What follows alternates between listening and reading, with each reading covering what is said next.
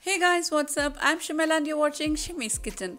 So today let's make Dum Ka Roat Halwa. This halwa is a very popular in Chennai, well known for its name Dum Ka Roat. In olden days, they baked this halwa on charcoal ovens with burning charcoals on top and bottom of the baking dish. It was baked on low heat for a long time till it becomes crusty on top and bottom. That golden brown crust is a delicacy. So let's see how to make this.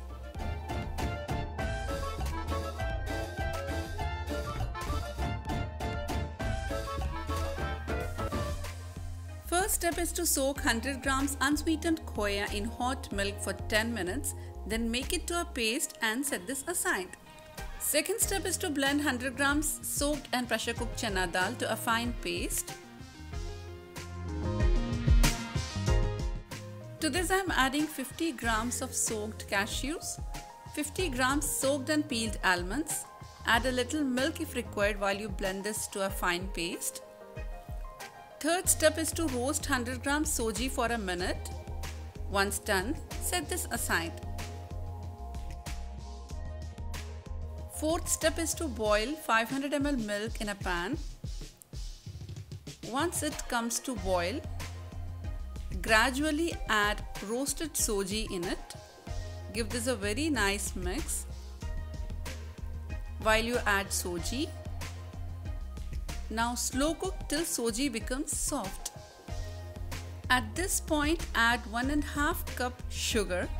Gradually add the sugar and mix well.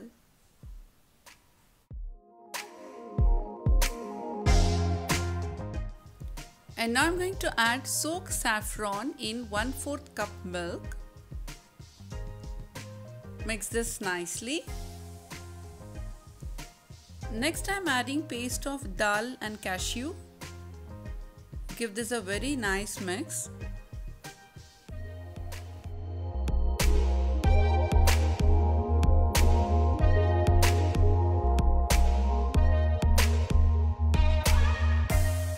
To this I'm adding a pinch of orange or red color. Mix this nicely. And next I'm adding khoya mix. Mix well and cook this for 2 minutes in a slow flame. You have to keep stirring it continuously.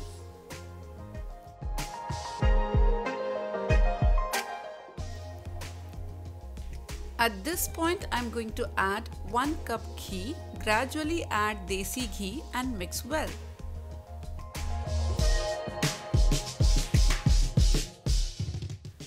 You have to keep stirring this till it starts leaving the sides. When it starts leaving the sides, now switch off the flame. Grease the pan with ghee and now transfer this halwa to the pan.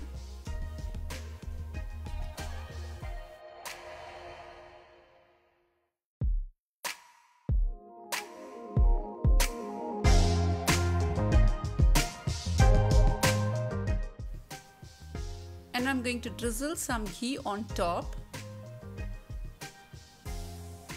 Garnish with some finely chopped almonds. You can also garnish this with melon seeds. Now bake this for 160 degrees Celsius for 20 to 25 minutes till it becomes golden brown and crisp on top. Once done, remove from the oven, garnish with silver paper on top and let it cool.